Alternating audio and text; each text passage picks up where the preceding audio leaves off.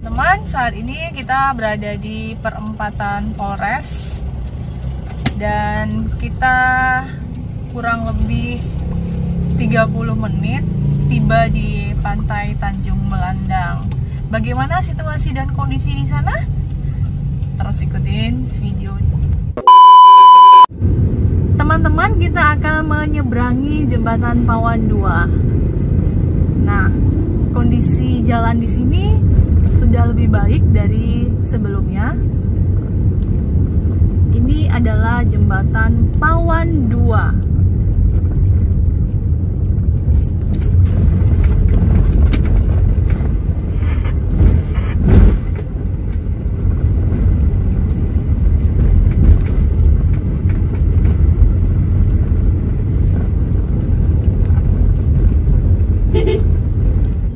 Teman-teman, tidak jauh dari jembatan Pawan 2, kita akan memasuki wilayah Sungai Awan atau daerah Sungai Awan.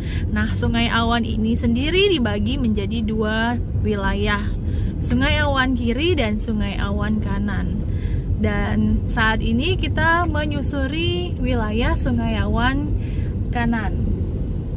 Semoga saat tiba di sana cuaca sedikit bersahabat karena sedikit khawatir uh, cuacanya terlihat sedikit mendung. Dan beberapa kendaraan juga sudah menyalakan lampu kendaraannya. Cukup lama juga kita tidak melintasi jalan di sini dan syukur ternyata jalannya sudah jauh lebih baik. Informasi untuk teman-teman uh, jalan di sini jalan poros di sini ini bisa juga kita menuju kabupaten luar yaitu Kabupaten Kayong Utara. Kabupaten tetangga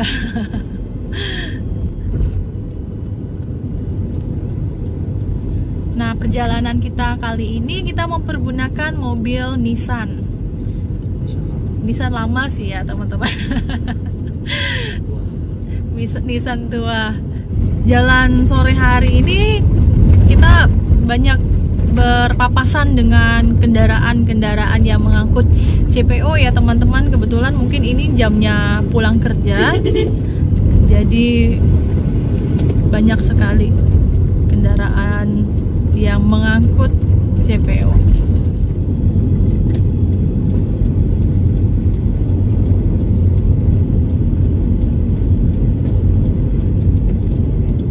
Oh, banyak objek wisata yang ditutup ya teman-teman karena situasi dan kondisi saat ini masih dalam situasi pandemi jadi objek wisatanya banyak yang ditutup. Nah, kita pilih yang agak jauh dari pemukiman uh, masyarakat. Semoga saat tiba di sana tempat objek wisata tersebut tidak tutup. Mengingat situasi dan kondisinya masih seperti ini. Nah, teman-teman, maaf sekali karena ternyata objek wisatanya juga tutup. Jadi kita lebih ke jalan-jalan aja nih maaf sekali karena kita tidak tahu ternyata objek wisatanya juga ditutup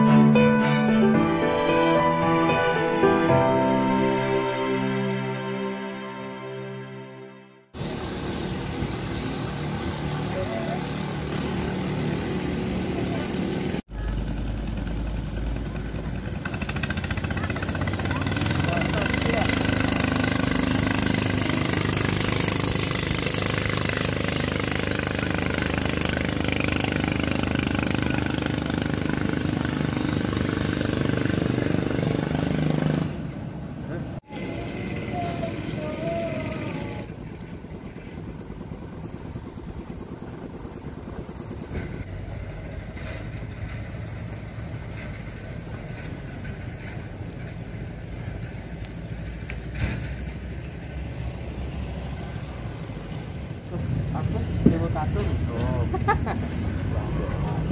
Untuk ke rumah dia lah Satu kan Satu Ini bayar. Jadi satu Anu bahan kayu apa ni bang? Play. Eh, bujang bang?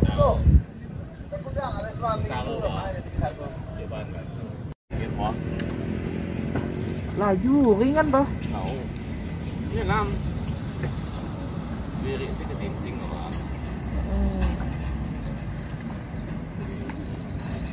Berapa bang habis bang buat bang? Eh, tak apa eh. Oh 5 juta berani tak? Mesin tu lebih. Mesin baru mah.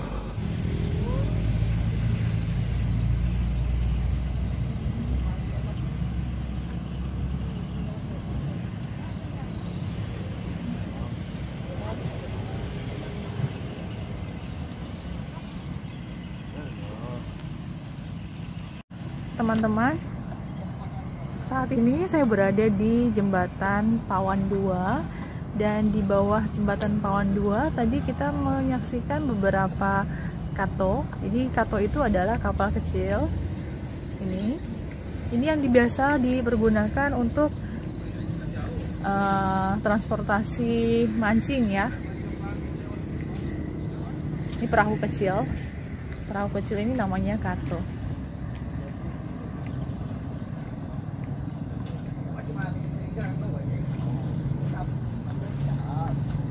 asik banget suasana sore hari menjelang maghrib. Pemandangannya begitu indah.